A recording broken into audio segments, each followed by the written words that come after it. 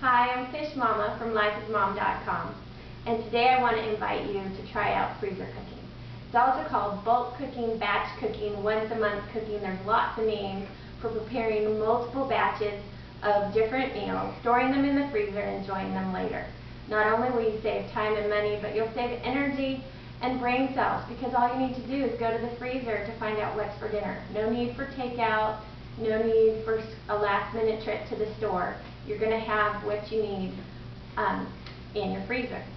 This past weekend I spent three hours from start to finish and I was able to prepare six quarts of meat sauce, two taco casseroles, 12 hamburger patties, and 44 frozen burritos.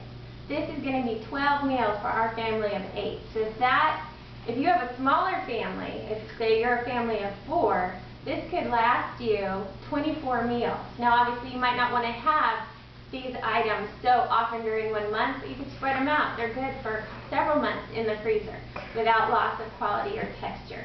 So I want to invite you to visit lifeasmom.com for freezer cooking days and give freezer.